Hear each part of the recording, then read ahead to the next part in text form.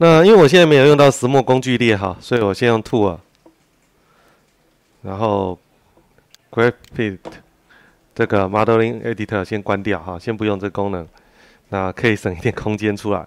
好，然后这个是这个装东西的这个承载斗已经好了以后，那我要放轮子，可是地地面在这里哈，所以先把它往上搬，先把这东西往上搬，然后我们要开始做轮子。轮子呢是直接用 Sing 的制作，那轮子呢我就是在会换到这个侧面的是这个角度来看，好，一样打开锁格点，那我们看一下，大概轮子要多大？半径十五公分，好，就三十公分的轮子了，嘿，有点大，不过没关系。那先做出来，再到这一个 Modify 面板里面调参数，因为现在太高了，十也太高，大概五公分就应该蛮厚的了。Segment 不需要，好，那边数呢？边数也不用十八，因为我们不需要这么圆。这个物件你看，我们这个呃造型的地方都没多少面，这里当然不需要，所以我大概只要用呃十就可以了。好，没有到吗？嗯，好，进去了，十差不多就可以了。那转一下，因为这样看起来这底怪怪的，所以稍微转一下。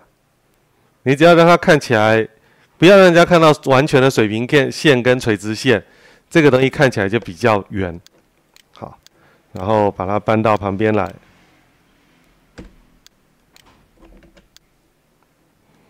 嗯，大约这个位置差不多。OK，那这样子呢还没有完成这一个的制作，这里面还少一个东西。呃，我们的模型呢不能有这样子的结构，这个是十边形，好，所以转成 Editable Poly，好，然后选面，做一下 Insert，好，随便拉一下就好，然后直接按这个按钮 Collapse，封闭。或塌陷，它会把那个面呢面变成只剩一个点，啊，所以现在这里就是一个十个三角面，这样的模型才是 OK 的。所以内侧一样要做一下，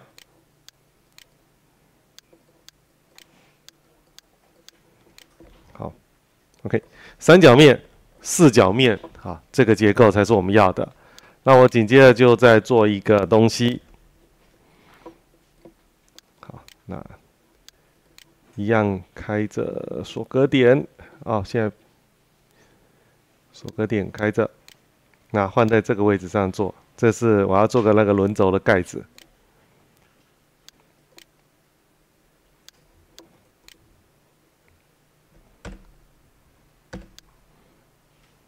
好，搬出来放在这里。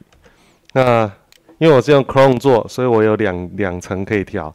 所以我就可以这样调整一下，好，啊，大小自己个自己设定，这个面数也不用，那边呢，这连十边都不用了，因为这东西很小，好，连就是你不需要跟它完全一致，好，那七都已经还，我都可能还嫌它太多了一点，高度调一下，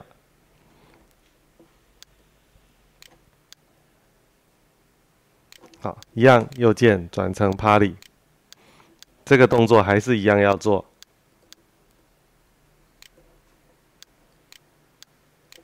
一样要做这个动作。那内侧呢？内侧这一个直接 delete，因为它塞在里面看不到，就不需要。好，所以啊，这样子轮子就做完了，啊，轮子的这个结构就完成。